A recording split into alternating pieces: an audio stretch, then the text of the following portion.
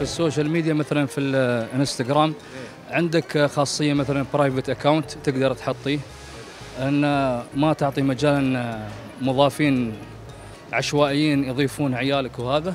صعب وايد لأنه كل واحد تلفونه خاص فيه فيعني ويكون معاه في- يعني معظم الوقت. لا افضل انه راقب طبعا لأنه بتحصل مشاكل. ال social- ال social media دي مشاكلها كثيره مستقبليه كثيره فيها مشاكل دي داخل ما أنت عارف الحاضر داخل أبوي من النوع المتفاهم.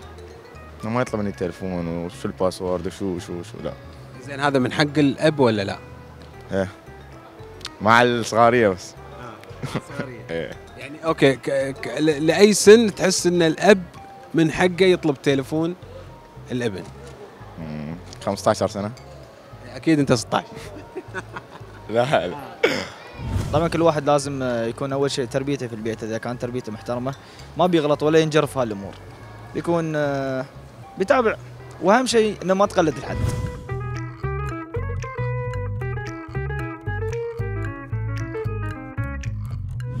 تحس إنه من حق الوالد أو من حق الأب إنه ياخذ تليفون ابنه ويفتش ويشوف منو ضايف منو ما ضايف؟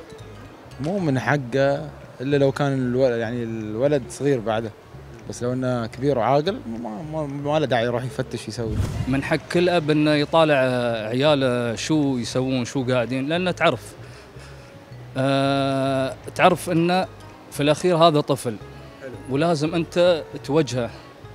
توجهه للشيء الص- الصحيح وتشوفه لو مثلا شفت إن في شيء غلط تنبهه وتخبره وهذا إن هذا غلط. في أشياء في في ال social media مثلا تغري الواحد. هو بيكون يعني هذا مش بإيده يعني. بعدين بالذات الأطفال بيكون في مرحلة است- استكشاف يعني واحد يحب يشوف يطالع يعني في مرحلة نمو هم فهو صعب بس ممكن. يعني لو هو عايش في بيئة كويسة مثلا ممكن يتم الموضوع هذا. أتابع لهذا الشخص أعرف آه، مصلحتي منه أعرف حتى لو ما بستفيد منه. أشوف شو يقدم.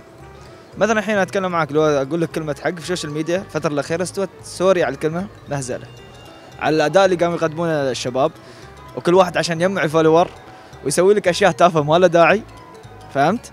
يعني أبوك ما يحب هذا الشخص وقال لك هذا تسوي له unfollow ما باك تتابع المليون.